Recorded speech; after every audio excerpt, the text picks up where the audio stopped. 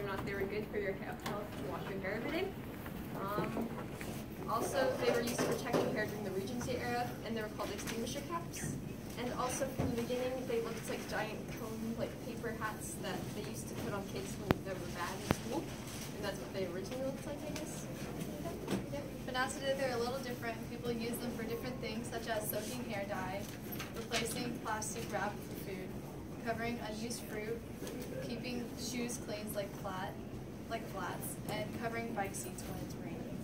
Um, there are many alternatives to shower caps. You can use use a plastic bag, plastic wrap, a Ziploc bag, or you can just wash your hair every day, or just put it in a bun and avoid putting water.